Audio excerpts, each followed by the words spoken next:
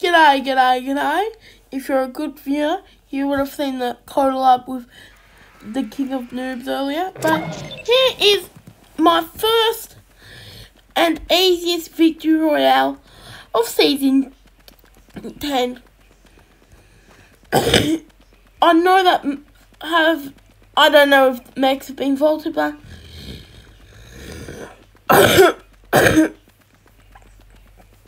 yeah pretty easy dub.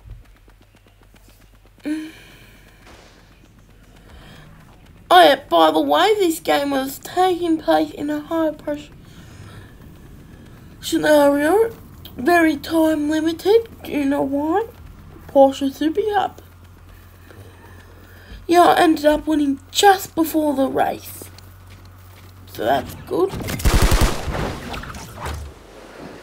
But you see, camping is the best form of Fortnite. Very good for getting dubs. A massive goof, no problem. Just landing. Yep. Find a good bush. Find a good bush is very important.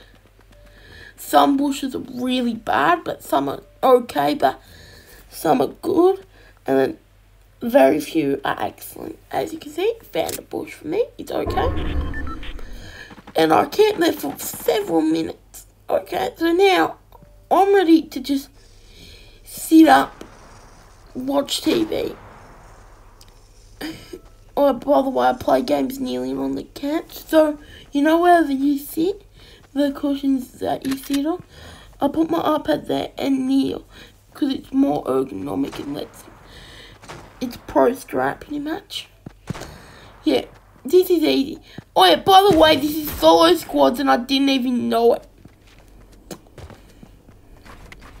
Build a quick one by one. Shock at that tree. I thought I'd get heaps of mats from that tree, but only five. Get my assault rifle. Oh yeah, I've got pretty decent loot. He's jumping around.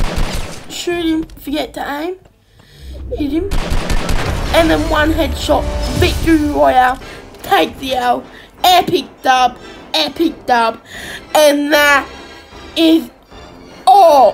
Thanks for watching.